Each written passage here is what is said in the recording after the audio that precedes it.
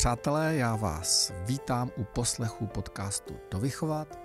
Já se jmenuji Milan Studnička, pracuji jako psycholog, pomáhám rodičům, a ať najít, jako, jak najít životní radost a jak fungovat se svými dětmi a, a ukazuji jim základní role muže a ženy a tak dál. A zároveň se podílím na projektech Dovychovat a Restart muže, což jsou takové srdcovky naše. A dneska si budeme povídat o ženách. Opět je to už třetí díl z téhle série. Doporučuji pustit si i předchozí dva. A vítám tady taky svou milovanou ženu, se kterou si budeme povídat. A Olinko, dnešní téma je, proč jako ženy žijou v takové té představě, že budu šťastná až.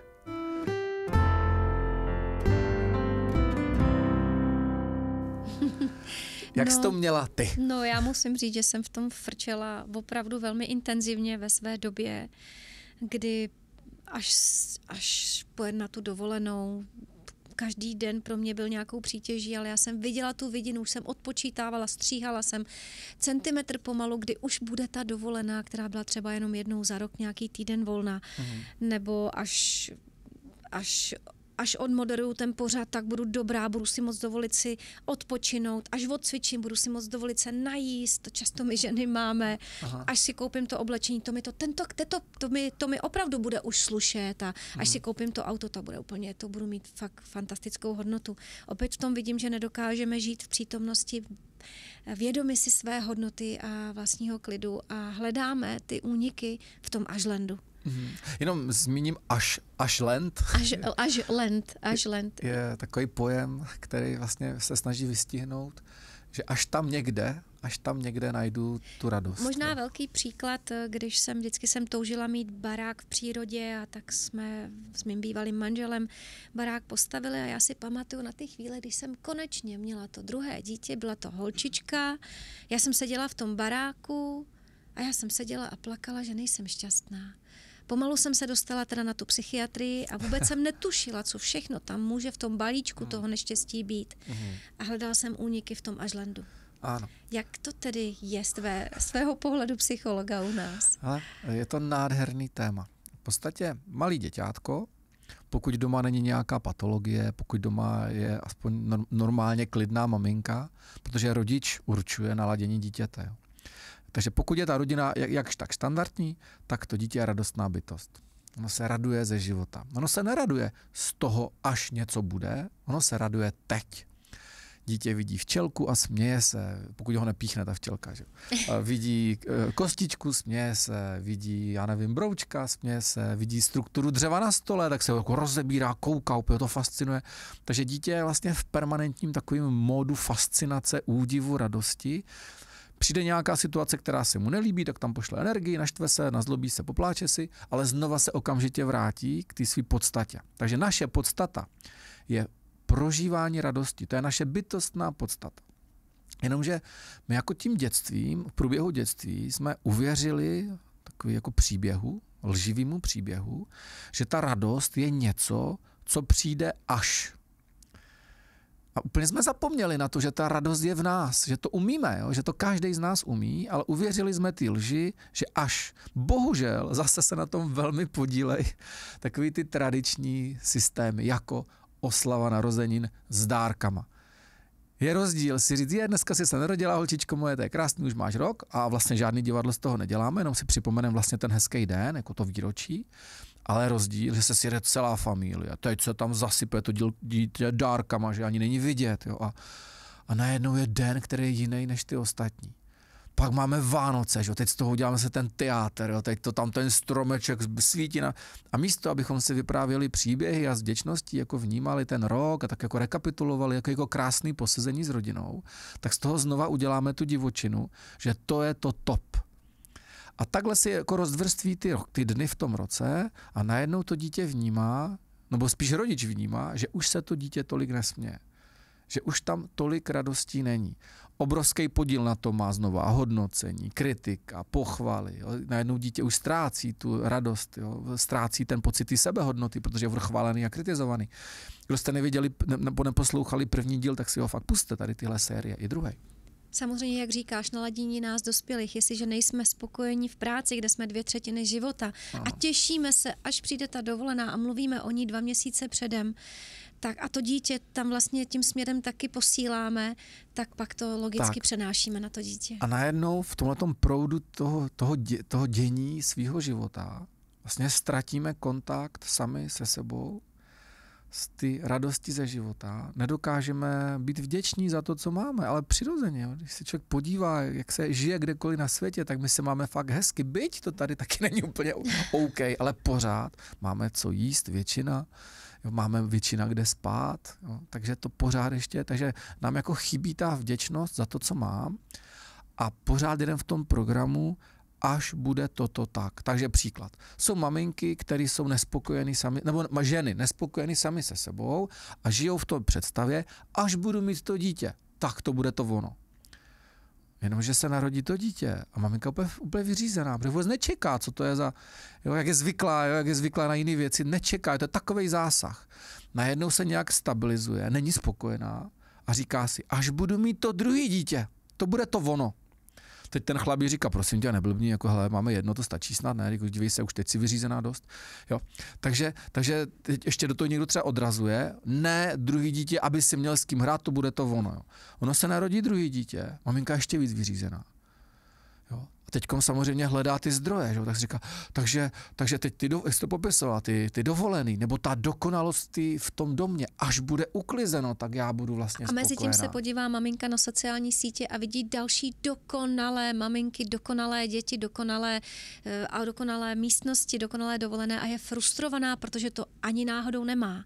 A chce se tomu podobat, takže dělá všechno pro to, aby se to její dítě uh, stalo tím Instagramovým dítětem a je další zaděláno na další nepohodu vlastně. Takže najednou fičíme v, v, ideli, v ideích, v myšlenkách, až já budu u té pláže, tehdy budu šťastná, až zhodím těch 10 kilo, tak budu šťastná, až si koupím ty nové šaty, tak budu šťastná. A ono to nepřijde. Ono to je na pár minut, jako hurá, mám nové šaty a za týden už se válí někde na... na, na... Takže máme téma budu šťastná, až, až. máme téma o ženách. Mm-hmm. Co je tedy tím východiskem? Tej brďo. To je tak krásný. Já bych teď řekl, pojďte k nám do kurzu, jo? budeme dělat letní kurz pro ženy, tam každý rok ho děláme, tak tam jako tam s tím Nic prace... jiného neabsolvuji, ano. sama se sebou. Ano, takže ten, ten vlastně to, ta cesta je naučit se znova vnímat krásu každodenního života. Nevnímat to jako povinnost spojenou s vinou a obvinováním druhých, ale jako s radostí. Jak na to? Ty jo, to je proces, Olinko. Za prvý, já to moc dobře, dobře vím, ano, ale, ale chci když to, to Já to zkusím popsat, ale opravdu... Zvědomit. To zvědomění je důležité. Jsou v podstatě tři oblasti, které si v životě musím zpracovat. A když si je zpracuju ve své hlavě, tak můžu znova se vrátit do toho, co umí malý dítě, radovat se ze života. Jo. Proto se mě tolik lidí ptá, na čem frčím. Hmm. A to je to, často dostávám tuhle otázku. Já když čem... jsem tě potkala, tak jsem říkala, ty jsi přiletěl z jiné planety, to není možné. No, ale ono to je 20 let práce, jo. Takže to není jako, jo, taky jsem byl jako na, na, nasranej, jo, jako podrážděný, házel jsem věcma, rozbíjel jsem dveře, takže jsem to uměl taky, jo, to není jako mm. nic, co bych v sobě neměl. S čím by ses narodil? S čím by, ta, ano, ano, ano. Takže ten základ je, když to vezmu jako zjednoduše, byť to je fakt proces. Každý mu, kdo teď poslouchá náš podcast, opravdu říká mi to proces. Není to ze dne na den ani náhodou, není to rychlo kurz, je to opravdu proces. Je to cesta. Ano. Takže první věc je zpracovat si svoji minulost. Jo, opravdu si projít svou minulostí, bolestí svý minulostí, zpracovat si to, odpustit lidem, kteří se tam podíleli. A to na to jsou nástroje, techniky, je to, je to celá řada. Odpustit sama sobě, když ano. možná nás posloucháte, říkáte si, jejky, to jsem nasekala věcí a v čem to frčím. Ano. Pracovat sama ze sebou. Často se mi stává, že třeba dělám přednášku o výchově dětí a teď vidím, jak ty maminky se začátku smějou a pak odchází vlastně úplně frustrovaný. A zdůrazňuji, nevyčítejte si to. Před člověku, když, se mu, když mu někdo otevře oči, jo, slyší nějakou oči otvírající myšlenku, tak najednou vidí, co do té doby dělal blbě. Hmm. A tenhle ten náraz je někdy dost bolestivý. A řekla bych, že my ženy tohle umíme hodně ano, dobře. Ano, ale, ale i, chlapi, když jim něco hmm. jako docvakne, tak mají obrovský výčitky, protože najednou jako dojde, ty brďo, proč jsem tohle nevěděl? Nemohl jsem to vědět, když mě to nikdo neukázal dřív. Jo. Takže první věc je ta minulost. Takže zpracovat si bolesti z minulosti vůči sobě, vůči druhým a to je fakt proces, jsou na to nástroje, jak už jsem zmiňoval, i tohle krásně učíme v tom našem letním kurzu. A další oblast, kterou si musím zpracovat, je budoucnost. a to zejména strach z budoucnosti. Ano, takže strachy z budoucnosti, a nebo naopak takový to lpění na těch představách, těch ideích, jo, až jako tam až, budu, ten až a jsme len, u toho jo. našeho tématu. Jo, takže zpracovat si svý strachy z toho, co by se mohlo stát a zároveň opustit ty falešné lživý vize až něco nastane, tehdy hmm. já teprve si můžu dovolit jako se radovat v tom životě. A vlastně to, co popisuješ nás, pokud to dokážeme s tím pracovat, tak nás to drží opravdu u sebe a v přítomnosti. Ano, přesně tak. Takže bohužel, kdyby si člověk analyzoval své každodenní myšlenky, buď to se potýká s tím, co proběhlo, anebo s tím, co ještě proběhne. Ale málo kdo umí jenom teď být, teď vnímat, teď být. Erich Fromm na to napsal nádhernou knihu Mít nebo být. A málo kdo z nás umí být. A když se naučím to být, to je ta třetí oblast, o které jsem mluvil, naučit se vnímat tu přítomnost, tak to je nádhera potom. Protože už mě netíží minulost, lidem jsem odpustil, tudíž nemám v sobě tu bolest, ty emoce a tak dál. A zároveň se nebojím toho, co nastane, protože netužím, co nastane. Já co pak já vím, co bude zítra. To, co by mě to. Hmm. Jo. I, I, v Bibli je krásně napsaný, ať se, ať se zabýváme tím, co je dneska, protože druhý den přinese si vlastní starosti. Není potřeba teď nad tím přemýšlet. To je krásný. Takže ale vlastně hmm. zase je to celkové nastavení. Já se nechci vůbec pouštět do nějakých hlubokých myšlenek, co tady je a není, ale když si jenom vezmu, že v létě jedeme nebo v září jedeme a u, u na dálnici jsou billboardy na vánoční dárky, bez kterých budete nešťastní, budete šťastné. Vánoce znamená, že si koupíte tyhle věci a budete šťastní. Ano. Takováhle masírka na cokoliv, na, na svatýho Valentína budete se milovat, až když koupíte svý drahý srdíčko.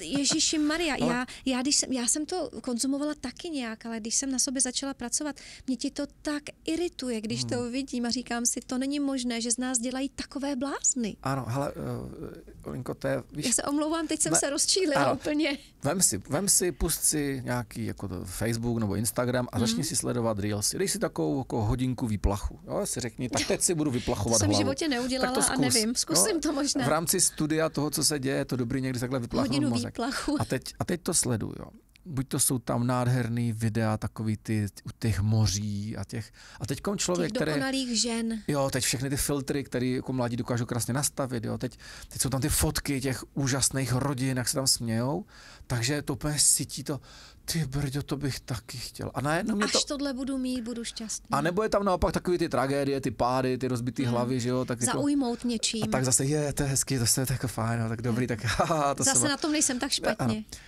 A místo toho, kdyby si člověk vzal knihu, nějakou filozofickou knížku nebo nějakou rozvojovou knížku, jo, prostě najednou jako sytit tu duši tím, co mě obohatí nějaký myšlenky Dalajlámy, nějaký myšlenky Gandhiho, ale Tolstojeho. Je to tolik nádherných autorů, který opravdu, když člověk jako do nich zapluje, tak úplně cítí, jak se povznáší, jak se dostává k sobě. Ale tohle dneska už se neděje. Je Teď tak málo hmm. lidí, kteří čtou, tak málo lidí, kteří opravdu čerpají hodnotné věci. Ale ty jsi to před chviličkou popsal, protože prostě v nás dospělých je nespokojenost. My víme, co všechno to sčítá, protože s tím pracujeme oba dva a v našem projektu dovychovat ale individuálně s lidmi. A proto už vlastně od útlého věku děti, když mají mobily, hmm. vidí tu nespokojenost u rodičů, přenáší to, na, pře, vnímají nejistotu a tu jistotu hledají v těch krásných reelsech anebo v těch nešťastných reelsech a teď, teď to přes před chvilkou popsal a bohužel si neuvědomí, že je dobrý si sednout s knížkou a hmm. číst filozofické myšlenky, které budou sytit mě nadějí, že v tom světě není všechno špatně. Ano. Takže je to opravdu jenom o té vědomí práci s tématy, které mě odvádějí od sebe samého. Jo. Pokud je maminka naštvaná na děti, že zloběj, na chlapa, že jí nepomůže, na šéfa, že je moc jako přísnej, tím pádem není schopna vnímat sama sebe, kde je tam jako ona, kde je to její prožívání, to její bytí. Jo. Když je člověk takhle jako nespokojený vnitřně, protože třeba má pocit nízký sebehodnoty, nedokáže si nastavit hranice, neumí se radovat z, z detailu, nevím, dostane kytici růží a je naštvaná, že mají blbou barvu, jo, nebo, nebo že smrdějí, nebo to, to je jedno, nebo že jich málo, nebo jich je hodně. Jo. Prostě je tam taková ta nespokojenost v tom životě, tak pořád hledám věci, které vlastně přitahují mě věci, které mi tu nespokojenost sytějí a zároveň si vytvářím větší a větší iluze, že spokojený můžu mít, až se něco stane. Já se obávám, že tímto podcastem jsme oslovili ehm, nepříjemný Nepříjemné, nepříjemný, téma. nepříjemné téma, které si může mnoho žen, protože ty podcasty jsou samozřejmě pro kohokoliv, ale mluvíme o ženách. Tenhle ten série je o ženách. Tato série je o ženách si to, takže může v ženách probudit jakousi nespokojenost, že jsme něco oslovili, pojďme to nějak dobře uzavřít. Tak já, ano, vždycky Poprosím je důležitá tě. naděje. Ano. A ta je velikánská. A když oba dva pracujeme se ženama jak naživo, tak právě v online prostoru. A, a vidíme to, jak po těch a to nejsou měsíce, to jsou spíš leta. Jo. Jak naše klientky, jak najednou víc zářej, více smějou. A je to jenom proto, že jsme oslovili ty základní principy. Zpracovat si minulost, umět nakládat s myšlenkama na budoucnost a začít vnímat současnost. A když tyhle ty tři oblasti si ženy začnou zpracovávat, opravdu to lze, Máme množství klientek, kteří jsou zaneprázdněny maminky nebo podnikatelky, nebo mají, jsou sami, bez chlapů a stejně to lze jenom chce začít. A ať už začnete s knihou, ať už začnete s nějakým kurzem ve vašem okolí, nebo si pustíte do kurzu s náma online prostoru, tak vždycky jsou tam cesty, které vám fakt můžou pomoct. Dostat se z téhle pasti až lendovský, až ano. něco bude. Ale naučit se vnímat, že už teď je ten život dostatečně krásný, byť se to třeba tak nejeví. V čem ty sám vidíš, že ženy mohou mít, nebo vnímáš u žen, v čem mají největší motivaci začít? No, u sebe. Vel, velmi často to cítím, když vidí ta žena, že jí to s dětma přestává fungovat. Protože pro maminku, když najednou vidí, že jí odmítají vlastní děti, tak je to strašná bolest. Je to bolest. Takže mhm. velmi často nás oslovují ženy, nebo aspoň mě, který už mají trable s dětma. Najednou vidí, že kluci s nima nechtějí fungovat, že je mhm. odmítá, že holčičky třeba v pubertě s nima nekomunikují mm. a tam jim najednou dochází, ty brďo, asi je fakt něco špatně. Pokud najdou vlastně stále v tom projektu vyník je to dítě a ta doba, mm. která je divná a jiná. Ano. A pokud dokážou, a je to velká frajeřina, v té vyřízenosti si říct, neměla bych něco udělat já sama ze sebou a to je fakt velká odvaha.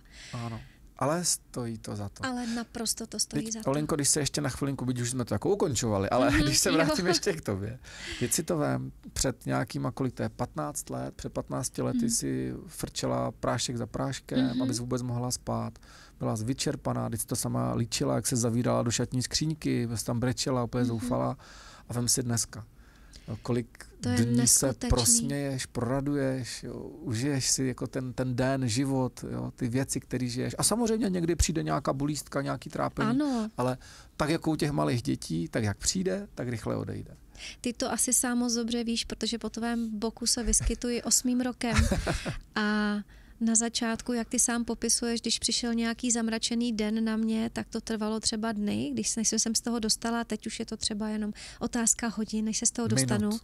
Ale tak dobře, tak teď to zkusím uzavřít já, jenom příkladem začátek cesty byl, když jsem slyšela tebe jednou na přednášce, kdy si říkal, zkuste si procentuálně říct, kolik dní v roce vstáváte s radostí.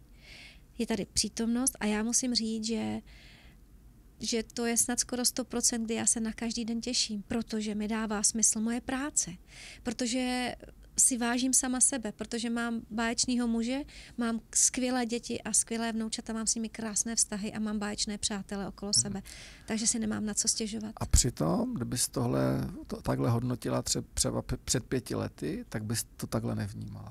A to je přesně ono. Já jsem říkala před pěti nebo před nevím kolika lety jsem říkala, mám všechno, ale jsem nešťastná. Ano. Jak co s tím? Ano. Takže tímhle tím bychom mohli zakončit. V momentě, kdy uděláte tu změnu v sobě samých, tak najednou zjistíte, že ten život vá, kolem vás se promění.